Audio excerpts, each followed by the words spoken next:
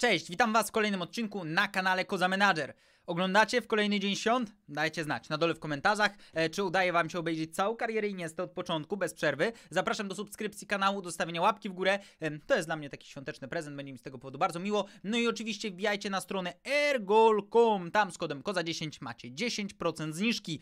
Zatem co? Przechodzimy dalej do naszego e, amerykańskiego świata i można powiedzieć, że na razie wygląda to naprawdę jak American Dream, bo jesteśmy na pierwszym miejscu w e, rzecz jasna swojej dywizji, dywizji swojej czy nie swojej? Tak, w swojej konferencji. Cała druga konferencja e, jest, jest tutaj po drugiej stronie. No i, i co mogę powiedzieć? Zobaczymy czy uda nam się zetrzeć z zespołami e, właśnie z drugiej strony Stanów Zjednoczonych, no bo do tego trzeba dostać się do playoffów. Zatem e, mam nadzieję, że nam się to wszystko powiedzie. E, mamy ósmy, przepraszam, yy... O mój Boże, w jakim my jesteśmy teraz momencie względem, no właśnie, mamy zaraz e, okno transferowe, słuchajcie, e, no bo tu mamy przepakowany rozgrywkami czerwiec, a potem mamy e, kolejne rozgrywki, ale powiem szczerze, to jest coś absurdalnego, bo mam wrażenie, że przez to, że zaczęła nam się ta kariera, bo ja wiem, że ja się często gubię w kontraktach i długości tych kontraktów, ale mam wrażenie, że długość tych kontraktów i jakby całe okno kontraktowe e, zepsuło się, na świecie przez to, że gramy, w że zaczęliśmy w Japonii w sensie takim, że kontrakty zawodników, które powinny się kończyć, czyli na przykład kontrakt Edisona Cavaniego, powinniśmy móc negocjować, a on trwa jakby do stycznia, chociaż nie powinien trwać do stycznia, tylko do czerwca. I, I, stąd całe to moje, wiecie, często taka, taka niepewność, że, że czemu dzieje się tak, a nie inaczej, bo nie powinno się tak dziać, przynajmniej tak mi się wydaje. Gramy z Toronto FC, i remisujemy z Kanadyjczykami. Chavi Simons z czerwoną kartką, bo dostał dwie żółte. E, Buksa z bramką, więc to oczywiście bardzo cieszy. Mamy zaakceptowany, słuchajcie, kontrakt, bo zdecydowałem się, żebyśmy podpisali em, tego kolumbijskiego zawodnika, bo wydaje mi się, że to, mimo posiadania tej fajnej młodzieży, e, jest bardzo dobra opcja do wzbogacenia jednak naszej ofensywy. Zresztą, jeżeli chodzi o tę młodzież, musimy podjąć parę decyzji, bo e, troszeczkę za dużo będziemy mieli piłkarzy, którzy potrzebują dużo uwagi i czasu. Zatem, wydaje mi się, że powinniśmy postawić troszeczkę na eksport i Monteiro zostawić sobie oczywiście yy, i, z tego zawodnika się nie pozbywać, ale wszystkich innych, których mamy w tym momencie w klubie, wystawić na listę transferową, bo mamy tego Robinsona, Eee, no, tak, tak ja, ja bym tak zrobił. Uważam, że, że to ma dużo sensu, dzięki czemu zarobimy pieniądze, dzięki czemu e, też pokażemy e, tę szkołę e, Miami w, w całym świecie i, i, i, to, jest, to jest dobre, żeby, żeby się pozbyć tych piłkarzy teraz. Tak uważam, że jakby są z tego, będą z tego same korzyści, I wydaje mi się, że to ma naprawdę e, duży sens. E, tym bardziej, że wielu z tych piłkarzy to są zawodnicy, którzy naprawdę wyglądają bardzo, bardzo dobrze pod względem ewentualnych pieniędzy, które możemy z nich zrobić. Zatem Monteiro zostaje, a reszta to są piłkarze, z których chcemy wyjąć hajs. Słuchajcie, jeżeli uda nam się ich sprzedać, to my tutaj naprawdę patrzymy na parę milionów zysku, które możemy przekuć wtedy w pensję dla tych, których, o których sobie marzymy, żeby ściągnąć. Słuchajcie, ja naprawdę chciałbym, że żeby e, dzięki tej naszej propozycji, znaczy tej naszej e, taktyce i dzięki temu, co tutaj robimy, żeby Inter Miami mógł podpisać Leo Messiego. Ja, ja tutaj nie żartuję, to powinien być cel. I dopóki my jesteśmy w tym klubie, to jest cel. Zobaczymy, e, czy uda się ten cel osiągnąć. Gramy z Atlantą United i przegrywamy. To jest chyba nasza dopiero pierwsza porażka w sezonie, tak więc e, Iniesta nie może liczyć na Invincibles, e, ale no ale czasem przegrać trzeba.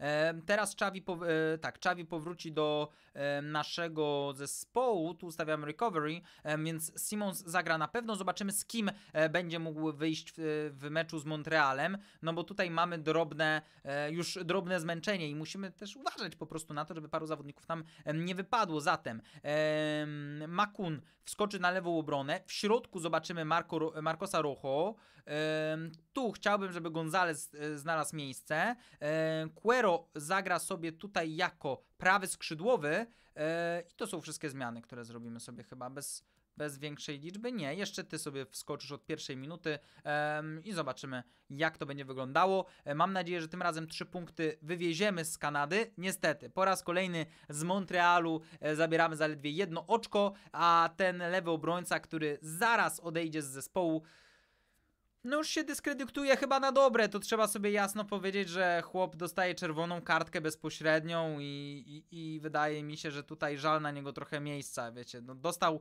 możliwość jeszcze pokazania czegoś zanim odejdzie e, i wydaje mi się, że tutaj po prostu temu panu dziękujemy. Zapraszamy e, tego gościa, który nawet jeżeli odejdzie, to e, albo w sumie w takim razie zostawmy tego, który z nami na razie przynajmniej zostaje, więc to zapisujemy. E, drużyna zatem sobie wypoczęła, jeżeli chodzi o podstawowych zawodników i dobrze, bo, bo już wyglądało to troszeczkę na zmęczenie materiału i też miejmy nadzieję, że powrót zawodników do podstawowego składu sprawi, że będą oni troszkę bardziej głodni gry. Mamy informację, że jeden z juniorów czuje się niepewny swojej przyszłości. Chodzi tutaj o Wargarę. Sprawdźmy, kto to jest, bo nie będę was oszukiwał, że pamiętam każdego juniora tutaj, e, więc zobaczmy, czy to jest piłkarz warty naszej uwagi. E, no, wygląda on nieźle i ten Hiszpan w takim razie zostaje e, zapromowany do podstaw, znaczy do zespołu. Tak jest. I tutaj tylko patrzę, czy chciałem coś zmienić. Nie. Zatem tego chłopaka bierzemy. Zobaczmy sobie innych zawodników. Philips, na tego piłkarza także czekamy. E, wiecie co, no tego Carmone także weźmiemy i od razu pójdzie on na sprzedaż, wydaje mi się. Dopiero od 65-66 plus tymi zawodnikami warto się zainteresować e, jako piłkarzami, którzy mogą być do dalszego grania po prostu, więc Wargarę sobie pozwolę od razu wystawić na listę transferową e, i Carmore Carmore sobie chyba zos... Mm, Carmone sobie chyba hmm, hmm, hmm. co z tą chłopy zrobić? Dobra, pracuj sobie tu na razie, zobaczymy, co z ciebie będzie. Wiesz co, w sumie ty to możesz iść na wypożyczenie. E, w ten sposób. Zatem e, tu mamy to zrobione. E, I i co? Czekamy na mecz z DC United. Naprawdę fajnie to wszystko wygląda w tym momencie, ale oczywiście mocną mamy zwiechę w symulacji z tego prostego powodu, że właśnie rozpoczął się, e, zakończył się w zasadzie sezon e, na, na świecie. Warto zatem, skoro mamy tutaj pierwszy. E, Wiecie co, warto zatem yy, zastanowić się nad piłkarzami, którzy yy, mają yy, skończone kontrakty, ale nie, nie możemy tego jeszcze zrobić. Chociaż wiecie co, idealnie chyba możemy. Co z tym Torreirą? Czy ja mogę temu Torreirze zaproponować umowę? Yy, no Musałagę miał też kończący się kontrakt, ale on jeszcze trwa. No ale wyglądał jakby kończył mu się kontrakt, ale nie można tego zrobić. Nie wiem, dziwne, dziwne to jest momentami. Jakby te kalendarze tutaj bardzo złapały dziwną zwiechę. No nic, zobaczymy jak to będzie teraz wyglądało. Yy, I czekamy w takim razie na... Yy, czekamy w takim razie na mecz z DC United. Ale teraz nam się sezon nowy wczyta. Okej, okay, dlatego jest taka, dobra, dobra, bo była taka, była taka ścinka i dopiero teraz, okej, okay, dobra, i tu rusza okno, dobrze. No sorry, ale jakby to są mechanizmy, z którymi ja do tej pory nie miałem w ogóle do czynienia, e, więc warto, żebyśmy po prostu widzieli, jak to wygląda. E, otwiera się zatem okno transferowe i czy otwierają się dla nas możliwości negocjacji z piłkarzami? To jest pytanie. E, na przykład możemy to zobaczyć na przykładzie e, Erery. Tak jest, ale ten Herrera cały czas ma klub. I w tym momencie wiesza się mój mózg, bo to w w idąc tą logiką, ten Herrera przyjdzie do nas dopiero w zimę, tak? No nie rozumiem. Wiem, że chciałbym do naszej drużyny sprowadzić Ramosa i to jest pierwszy piłkarz, którego e, kontrakt, e, któremu kontrakt proponujemy. E, czy wypożyczenie Torreira wchodzi w grę? Nie. Natomiast można się zastanowić nad Bonuccim. To jest ciekawa opcja. Patrzę jeszcze na piłkarzy, których można by było ściągnąć. Można by było ściągnąć Marcelo i tutaj także zaproponujemy mu kontrakt. No i przede wszystkim, słuchajcie, no wydaje się, że to jest moment, w którym można rozmawiać z Leo Messim. Nie, nie można jeszcze rozmawiać z Messim. Jest do kupienia Messi za 90 milionów około. Brzmi to nieźle. Ale yy, nie, nie można yy, kupić Coutinho. Można spróbować kupić Łagę, ale nie mamy pieniędzy. Strasznie to jest, strasznie to jest pomieszane, ale słuchajcie, na pewno transfer Ramosa oraz Marcelo to jest coś, co bardzo, bardzo chciałbym zrobić dla e, tej naszej drużyny. Plus fajnie by było jednak e, porozmawiać z z kimś dwójki Bonucci, e, Chiellini, ale wydaje mi się, że tutaj Leo Bonucci to jest dużo, e, dużo lepsza rzecz. Bonucci, Ramos no tu nam się robi naprawdę taki e, Hollywood FC, ale wydaje mi się, że że to jest, to wyjdzie tylko i wyłącznie em, temu Interowi Miami na dobre. Zobaczymy, czy ci zawodnicy pozgadzają się na te kontrakty. My na razie gramy z, z DC United. W dodatku e, ten młody może zmienić pozycję, e, dzięki czemu wygląda to lepiej. E, no dobra, teraz chciałbym, żebyś pracował nad, mm, nad bombardierem chyba. Zobaczymy, co z tego wyjdzie. Em, tymczasem my gramy z zespołem z Waszyngtonu chyba, prawda? I zobaczymy jak to będzie wyglądało. Wygrywamy 1 do 2. Alexis i Mata. Zatem ci pierwsi, których podpisaliśmy jako europejskie gwiazdy, e, zdobywają dla nas gole. Piękna rzecz, piękna sprawa. No i zobaczmy, e, jak to dalej się będzie toczyło. Widzimy, słuchajcie, że większość z tych zawodników, trzech, większość z tych trzech, no wszyscy ci zawodnicy odrzucają nasze pierwsze propozycje, ale spokojnie. Czasu na rozmowę z nimi mamy jeszcze chwilę. Po tygodniu już e, osobiście e, podejdziemy do e, rozmów z tymi piłkarzami, ale także musimy koniecznie zajrzeć do naszej, e, do naszej stajni, bo tutaj zaczyna się dziać e, parę nieprzyjemnych rzeczy. A mianowicie, e, Buffonowi się kończy kontrakt? Nie, to znaczy, że Buffon zakończył kar kończy karierę, e, bo on jeszcze umowę miał. E, więc tak, temu młodemu zaczyna się kończyć kontrakt. E, tu przedłużamy, bo on musi z nami zostać, żebyśmy go po prostu mogli sprzedać, więc nawet może być na klauzuli. Ten jest całkiem wartościowym piłkarzem, więc dla po prostu dobra kadry też niech zostanie sobie nawet na klauzuli, to nie jest problem. Tutaj znowuż zgadzamy się na przedłużenie umowy, akceptujemy je, aczkolwiek ten zawodnik od razu dostaje propozycję na listę transferową, bo y, tego bocznego musimy zastąpić, no ale ty absolutnie musisz z nami zostać. Ja nie chcę, żebyś ty nigdzie odchodził, e, no i przedłużamy tę umowę. Przedłużymy także umowę z Pizarro, e, bo czemu nie? No i Alexis Sanchez, a nie, ten y, jest gotowy przedłużyć kontrakt. E, ale yy, powiedzieliśmy mu, ile chcielibyśmy, żeby zarabiał, i on stwierdza, że to jest za mało. Yy, ten piłkarz zgadza się na to, no i dobrze, i, i fajnie. Yy, czyli tutaj nie ma co. Nie ma co na razie gadać. Spoko, słuchajcie, na luzaku, naprawdę na dużym luzaku podchodzimy do tego. Gramy z zespołem z Nowego Jorku. Tutaj drobne zmiany będą musiały się pojawić, bo jest lekkie zmęczenie materiału, zatem e, chciałbym, żeby zadebiutował w tym meczu młody e, Monteiro, żeby też poczuł się ważny. No i na lewej obronie e, zobaczymy sobie w tym meczu... Ktoś tu mnie biegać? Tak zróbmy. No, tak zróbmy. I niech to będzie w ten sposób. Szybka symulacja zatem i w meczu z Nowym Jorkiem remisujemy 1 do 1. Bramkę strzela Simons. Mendoza e, nie był w stanie pokonać bramkarza z 11 metrów. Okej, okay, słuchajcie, nie jest źle, ale mi się wydaje w ogóle, że ja naszego bocznego obrońcę wystawiłem na listę transferową, e, aktywnego bocznego obrońcę, e, a oczywiście w związku z tym, jak to wszystko wygląda, nie mamy, e, nie mamy w tym momencie y, pieniędzy. Nie możemy przedłużyć kontraktu z Alexisem Sanchezem, nie możemy go wystawić na sprzedaż, więc tutaj mamy drobny impas yy, i, i nie wygląda to tak, jakbyśmy tego chcieli. No może on chce jeszcze wrócić do Europy, kto wie? Ja wiem, że nasz Inter Miami jest w tym momencie na miejscu pierwszym w MLS. I to jest coś, co naprawdę e, jest bardzo, e, bardzo fajną informacją. Czekamy na to, co wydarzy się dalej. Korea zasila szeregi Interu po raz kolejny, jakby. a my bo to jest ten Korea z Lazio chyba, prawda? No nieważne. Ważne jest teraz to, e, co wydarzy się w meczu z Orlando, e, ponieważ to jest spotkanie, które przed nami. I czy to już jest mecz w playoffach?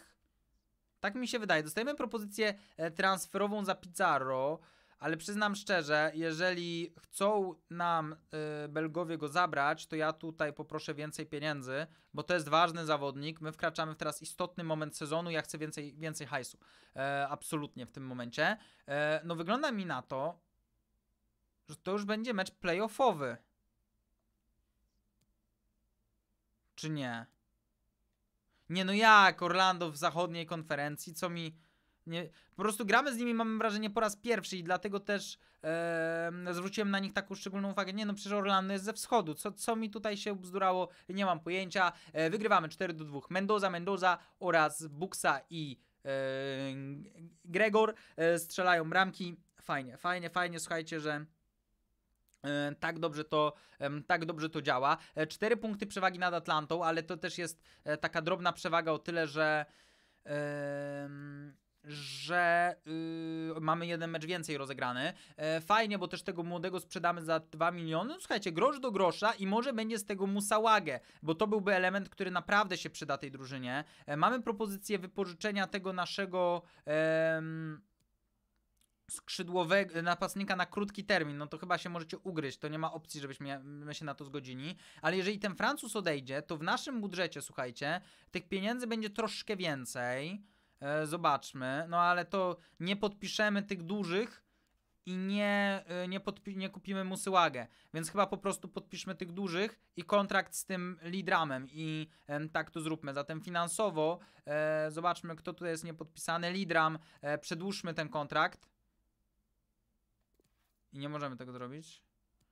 Nie wiem, czasami to jest naprawdę dziwna sprawa. No i oczywiście nie mamy też bramkarza, ale golkiperem zajmiemy się yy, za chwilę. W sumie możemy zająć się już teraz, yy, poszukać sobie yy, Handanowicza, bo wydaje mi się, że to by była fajna opcja na zawodnika, żeby zaproponować mu podpis, ale nie możemy zaproponować mu podpisu, ale zostawimy go sobie tu. Na razie, słuchajcie, porozmawiajmy z Marcelo, bo uważam, że Marcelo i Ramos to jest coś, co może nieprawdopodobnie zadziałać elektryzująco na kibiców. Jednak, biorąc pod uwagę to, ilu możemy mieć e, u siebie latynoskich fanów, e, to pozyskanie piłkarzy związanych ściśle z pięknymi latami, najlepszymi niemal latami, no najlepszymi w ostatnich czasach, e, latami Realu Madryt, e, z, tym, z tą wygrywaną Ligą Mistrzów hurtowo i tak dalej, to może być gigantyczny plus. Chodzi o to, że ci ludzie będą chcieli zobaczyć zawodników z najbardziej ubóstwianego na południu zespołu na świecie. Wiecie o co mi chodzi, prawda? E, zatem nasza propozycja dla Marcelo to jest kontrakt na poziomie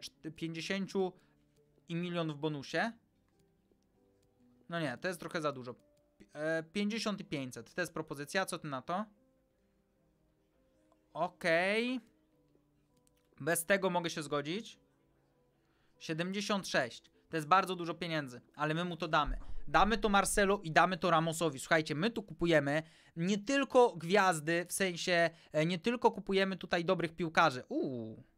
Okej. Okay. E, nie tylko kupujemy, słuchajcie, tutaj dobrych piłkarzy, ale kupujemy tutaj potencjał marketingowy, kupujemy tutaj historię Realu, e, kupujemy tutaj zawodnika, który ile razy był wybierany nawet do takiej głupiej drużyny roku w FIFA, prawda? E, FIFA, prawda? Więc to jest, my, my, tutaj walczymy o coś więcej i płacimy za coś więcej niż tylko piłkarza, który jest w jesieni swojej kariery I, i mam nadzieję, że wy to rozumiecie, poza tym to są takie ruchy, których normalnie byśmy nie robili. Dobrze, porozmawiajmy teraz z Ramosem. Ramosem, który zarabia już tak niewiele. To jest bardzo istotne, bo to jest 68 tysięcy euro, e, więc e, jesteśmy w stanie mu zaproponować fajny kontrakt, nawet lepszy, no bo przecież Marcelo zarabiałby więcej pieniędzy. 3 lata kontraktu, on chce roku, e, czyli zgadzamy się na 2 lata umowy. Fajnie, nie mamy z tym problemu. Brak klauzuli odstępnego. Ok, jeżeli ktoś zapłaci za ciebie tyle pieniędzy, to ja to wezmę. Nie chcę ci dawać od, od występów, ci nie dam. To ci dam no i witamy Marcelo w zespole, yy, może Marcelo, witamy w zespole Ramosa.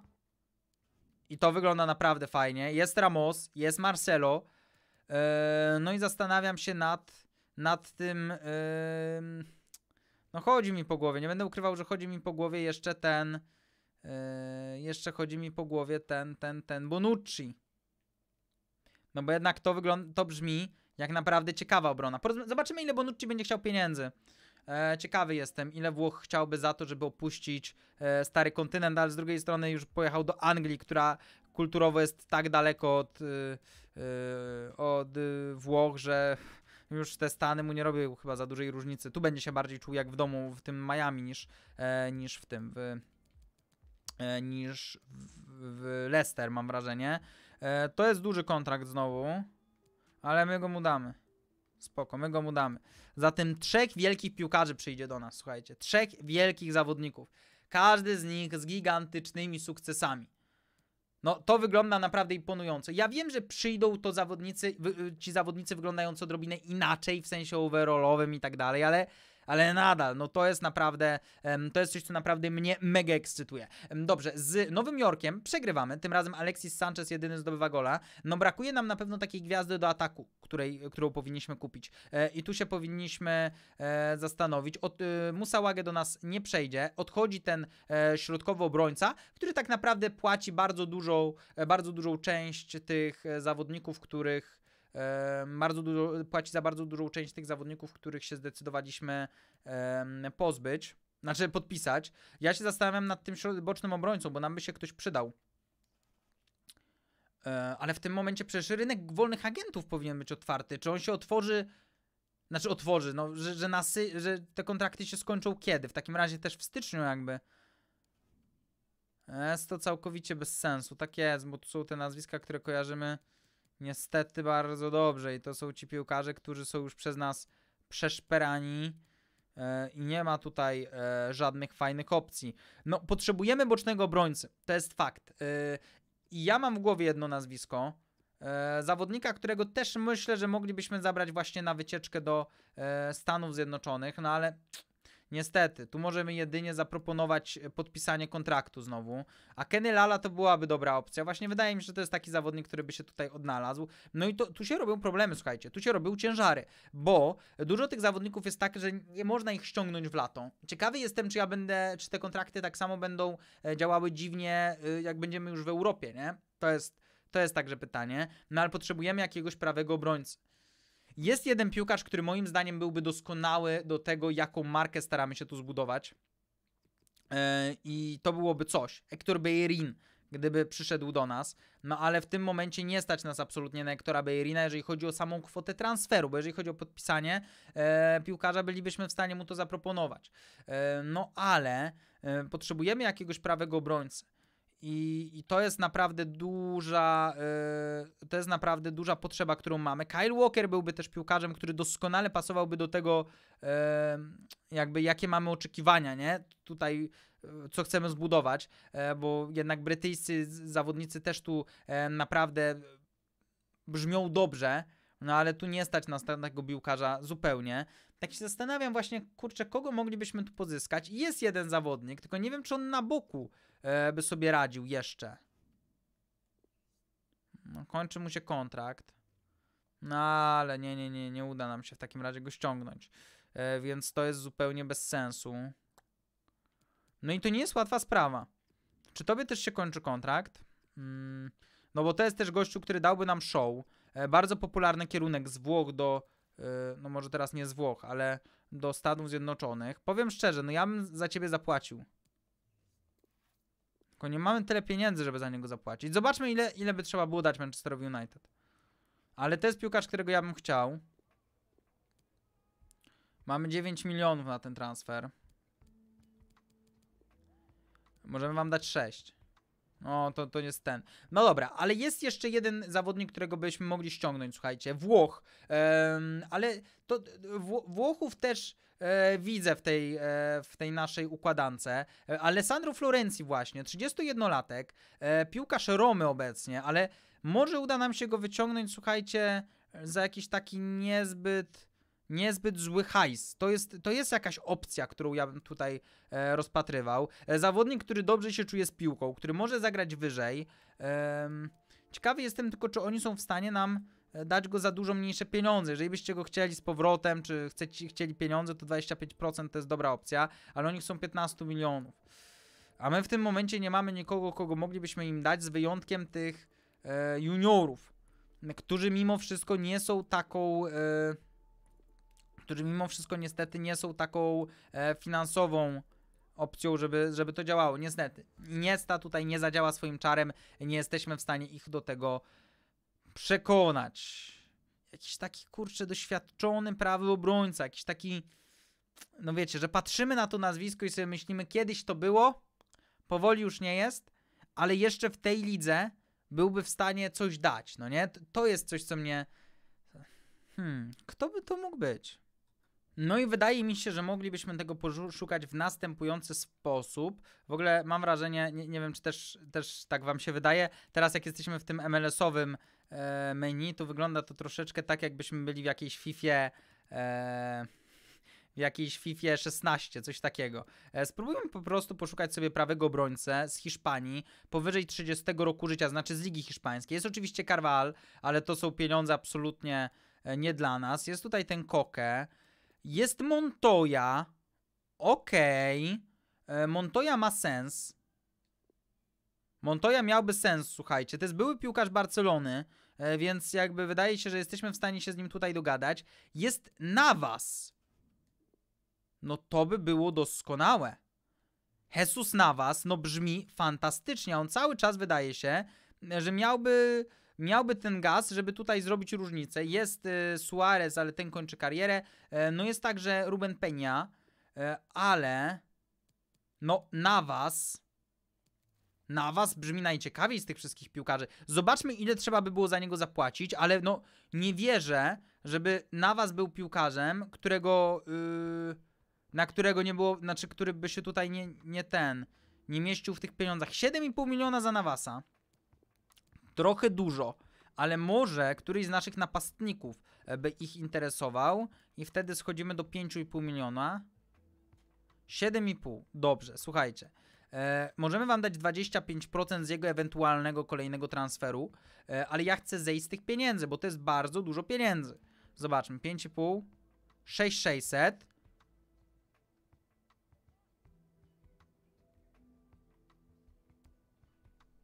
Dobra, weźmy go. Weźmy, weźmy Nawasa do naszej drużyny. E, zobaczymy, słuchajcie, to jest kupowanie naprawdę mocno kota w worku. Ale wydaje mi się, że jeżeli chcemy kupić zawodnika, który pomoże nam osiągnąć teraz, tu, zaraz sukces w, w, w Stanach, to Navas może nam to zaoferować. Naprawdę jestem gotów za niego tyle zapłacić. E, Sevilla wysoko go sobie ceni i wierzę, że cenią go tak wysoko nie bez powodu. to są dobre warunki kontraktu. My je akceptujemy. E, no i podpisujemy, słuchajcie, wielką legendę 36-latka grającego w Stanach, e, grającego w Hiszpanii, grającego w Anglii i przy okazji straty, no okej, okay, dobra. To naprawdę był, było, było warto. Tak jak czasami nie warto było robić nic, tak tym razem było warto, bo tak troszeczkę z, znikąd wzmacniamy się w tym momencie naprawdę porządnie. E, no, jeszcze nie wejdzie na ten mecz na was, no bo tutaj nie będę go prosto z samolotu pchał do podstawowego składu, jednak e, bez przesady. E, tutaj damy mu sekundkę jeszcze y, odpocząć. Na pewno Chavi Simons też musi odpocząć i tu e, wiecie co, i na was niech sobie wyjdzie tu wysoko ustawienie. Nie, jeszcze, jeszcze nie odrobinę cierpliwości sobie dajmy. Tu niech zagra Pizarro e, i tu zaprosimy Ciebie. Dużo zawodników z e, rezerwowych, no ale widzicie, New England jest e, wypoczęte, my nie, więc musimy tutaj podziałać w ten sposób. E, wygrywamy mimo to. Buksa strzela swojemu zespołowi, Pizarro strzela także bramkę, e, więc pod tym względem możemy być naprawdę turbo zadowoleni. Czekamy zatem na to, co wydarzy się tutaj dalej na fotelu lidera cały czas. Co prawda, Columbus Crew, e, Atlanta United mają tyle samo oczek co my. Kolejny mecz z Montrealem i widzicie, e, dobrze, że kupiłem tego Navasa, bo właśnie Lirdam e, no jeszcze nie odszedł, bo on odejdzie jak się kontrakt mu skończy. Ale uważam, że naprawdę nie żałuję tego transferu absolutnie. E, uważam, że to jest super dodatek e, i będziemy, będzie ten zespół pozostawiony przez nas stary, ale za to, kto odwiedzając Miami nie pójdzie na mecz drużyny Beckhama z Ramosem, z Bonuccim, z Navasem, z, e, no z Buffonem już w tym momencie nie, no ale oczywiście będzie tam jeszcze Marcelo, no to brzmi kosmicznie. E, mimo wszystko Montreal cały czas e, ma, na nas, e, ma na nas haka. Zawsze tam będzie jeden do jednego. Nieważne czy gramy u nich, czy gramy u siebie. No to jest zespół turbo, turbo, turbo e, nieprzyjemny i nam nie leży. Gram teraz Nashville, zobaczymy jak będzie to wyglądało. Ciekawy jestem, czy mamy już e, sklaczowane miejsce w playoffach, tego nie wiem. Wiem, że mocno ostatnie spotkania dały się nam we znaki, e, więc tutaj chciałbym, żebyśmy my skupiali się na ładowaniu tych naszych baterii tylko i wyłącznie. Co prawda czuję, że na was nie ma aż takich braków, e, jako zawodnik, który cały czas fizycznie jest naprawdę e, w niesamowitym sztosie, ale reszta drużyny też jest wypoczęta, więc zobaczmy jak z Nashville sobie poradzimy. W tym meczu remisujemy 2 do 2. Znów strzela Buxa. E, szkoda, że niestety nasi rywale także są w stanie dwukrotnie pokonać Gigiego Buffona. E, teraz gramy z mm, zespołem z Filadelfii. Ujola dostaje propozycję transferową, ale w tym momencie ja się na to nie zgodzę, bo on odszedłby od nas teraz, a my nie możemy sobie pozwolić na stratę zawodnika w tym momencie. Eee, zobaczymy zatem, jak to wszystko będzie wyglądało. Eee, pozycja playoffowa jest turbo bezpieczna. My już tu możemy naprawdę, eee, możemy już tutaj naprawdę z pewnością powiedzieć, że e, będziemy grali w playoffach. Teraz ważne jest to, żeby mieć dobre miejsce, żeby jak najlepiej być zestawionymi, prawda? Lirdam wskoczy sobie do podstawowego składu w tym meczu. E, Nawas dostanie także możliwość odpoczynku. E, Simons e, i tutaj ten młody niech także się pokaże na boisku i Karanca. W ten sposób zatem to wszystko wygląda. Mam nadzieję, że uda nam się w chwili wygrać. Remisujemy w mieście Rokiego Balboły 0, 0 do 0.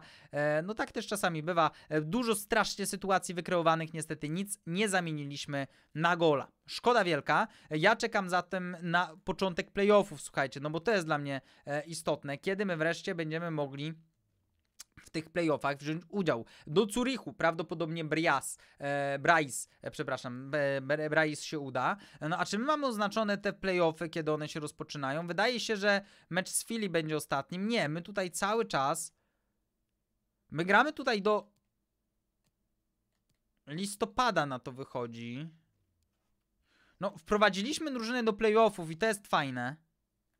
I powoli zastanawiam się, słuchajcie, czy, czy to nie jest też dobry moment, żeby teraz zacząć szukać nowych, nowych wyzwań. W sensie takim, że zrobiliśmy to, co do nas należy, zabezpieczyliśmy bardzo mocno playoffowe miejsce. Kurczę, do Espaniolu to ci nie sprzedam. E, za, za, za, e, zabezpieczyliśmy tutaj miejsce w playoffach już, już niemal e, ze stuprocentową pewnością możemy o tym mówić.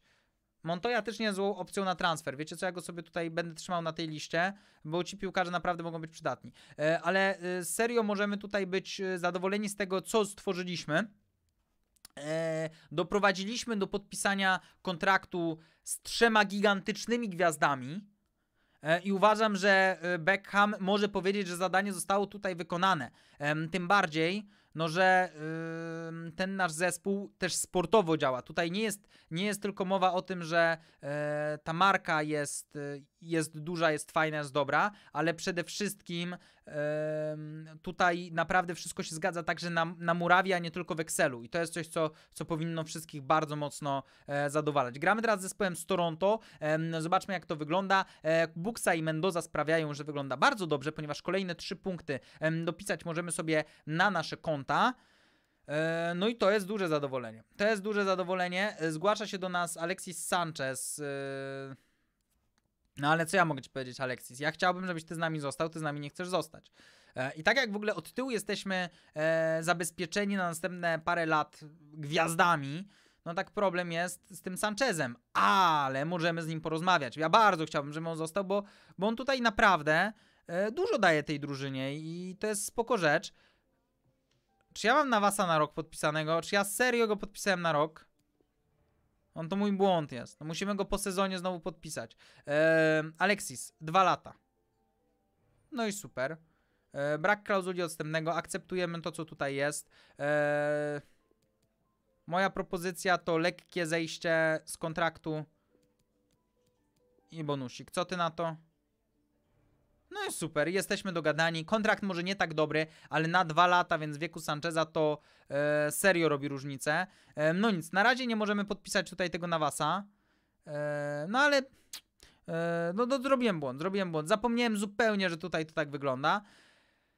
E, gramy z Columbus Crew. Jeżeli udałoby nam się z nimi wygrać, to jeszcze mamy szansę wywalczyć sobie tutaj e, miejsce w na pierwszym miejscu, a tak to będzie trudno ich dogonić, coś czuję. E, zobaczymy, jak to wyjdzie.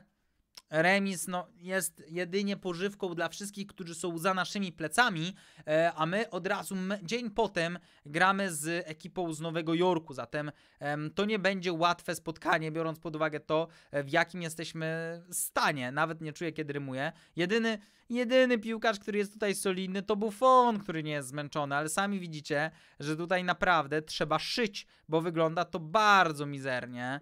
E, tutaj zaprosimy Chapmana na tę pozycję, no ale musi tu zagrać. Okej, wspinamy się coraz wyżej wprowadzając coraz to nowych rezerwowych i cały rezerwowy skład wyjdzie w tym meczu.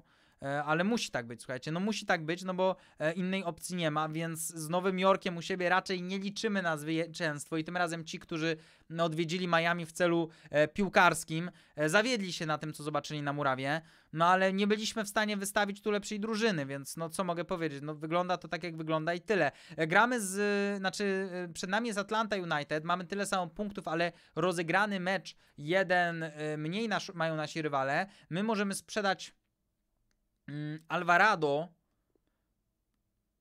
I my to zrobimy teraz. Nie, my tego nie zrobimy. My go możemy sprzedać po sezonie. W tym momencie nie wypuścimy go z rąk, gdyż yy, no jesteśmy, słuchajcie, w, w środku sezonu. Ja już tego transferu robić nie chcę, bo my nie mamy hajsu na to, żeby kogoś innego do nas dokoptować, więc, yy, więc czegoś takiego po prostu nie widzę. Na Filadelfii już jesteśmy wypoczęci. To jest bardzo duży plus. No i z Filii Wygrywamy 2 do 0. Buksa, dwa gole. Piękna sprawa. Zatem słuchajcie, jesteśmy w naprawdę fenomenalnym miejscu, jeśli chodzi o przygody Andresa Iniesty. To jest trzecia lokata w MLS, ale to jest 41 e, oczek na naszym koncie. Tyle samo, co ma e, Columbus Crew, tyle samo, co ma Atlanta. No a to, co najważniejsze, przewaga nad siódmym miejscem, nad szóstym miejscem gwarantującym udział w playoffach, to jest 10 punktów. Zatem naprawdę e, jest się z czego cieszyć i ma z czego cieszyć się nasz nasz Beckham, a ja jestem ciekawy, tylko gdybym w tym momencie chciał zmienić pracę, to mógłbym oczywiście być w MLS-ie. E, szykuje się na nas także Liga Rumuńska. No nie ma tych ofert zbyt wiele. E, głównie, głównie jesteśmy uznani w Stanach Zjednoczonych. No jest to miłe, jest to fajne. No ale jeżeli, ale my już teraz nie chcemy się poruszać w tych ofowych ligach, chcemy wrócić do Europy, e, jeśli o tym mówimy. No Buksa, jak widzimy, ta łysa strzała radzi sobie doskonale. Mam nadzieję, że my jutro poradzimy sobie tak samo dobrze w playoffach, bo już niedługo decydująca faza rozgrywek. No i też pewnie możliwe, że nawet czas pożegnania. Zobaczymy, jeżeli będzie jakaś fajna oferta, czemu nie?